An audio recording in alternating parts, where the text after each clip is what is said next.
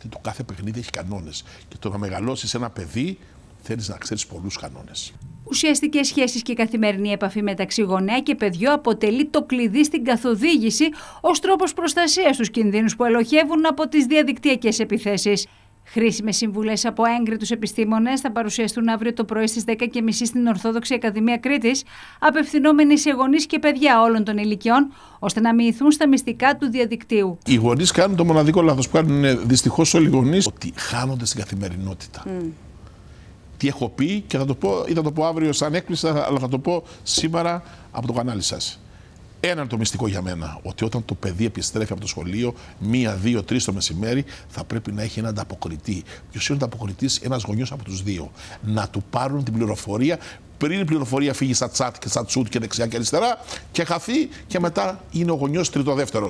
Άρα, μόλις επιστρέψει το παιδί, έχει μια ψυχική ανάγκη να μιλήσει. Ο ιδρυτής του Ινστιτούτου για την Κυβερνοασφάλεια, Μάνος Φακιανάκης, μιλώντας στο μεσημερινό δελτίο ειδήσεων του σταθμού, μας τόνισε την ανάγκη συνεχούς ενημέρωσης και επικαιροποίησης των γνώσεων στον κυβερνοχώρο, καθώς οι εξελίξεις στην τεχνολογία πραγματοποιούνται με χαρακτηριστικές ταχύτητες. Επιτακτική όσο ποτέ είναι η προσαρμογή των χρηστών του διαδικτύου.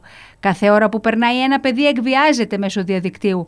Ερωτηθείς ο στρατηγός εν αποστρατεία Μάνος Φακιανάκης πώς θα πρέπει να αντιδράσει για να μην υποκύψει στα θέλγητρα των επιτίδων, απάντησε. Δεν πρέπει κανένα παιδί να υποκύπτει σε εκβιασμό.